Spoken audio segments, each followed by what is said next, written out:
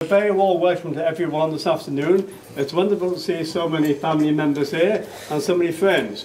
Uh, I think for most of us, this is the first time we've ever been to a 100th birthday party. It hasn't been one before. Uh, so this is a, a very unique and a very special occasion. Not only are we celebrating a 100th birthday, but we're celebrating someone, someone very special. So thank you- thank you. My mother's asked me to thank you all for the uh, cards which you received. Received, oh, we've lost count of the cards, somewhere in the region of about 80, I think, cards, um, which have all been very much appreciated. Um, we also got one from the Queen, of course, and those of you who haven't seen a royal card before, uh, this, is, this is the sort of card. This is the sort of card you get uh, when you get to 100. So all something to aim for. So there we are. And mother also got a card from Lambeth Palace in recognition of her work she's done uh, for the Mothers Union.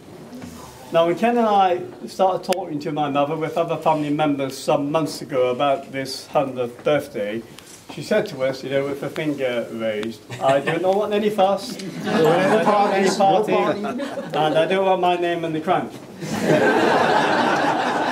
well, Ken and I, we're normally very good boys. We do what exactly Maxi? we do exactly what our mother tells us, but on this occasion we decided not to do what mother said, and we decided that she deserved the party, and she deserved a big fuss, and to deserve to be the page-free girl in the Hexagon.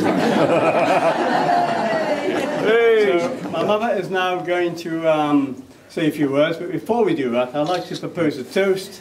And I think maybe we can have a good cause of a really good cause of happy birthday. And something with a better about the singer cake? than I am What about- and start the ball rolling. So congratulations and good health.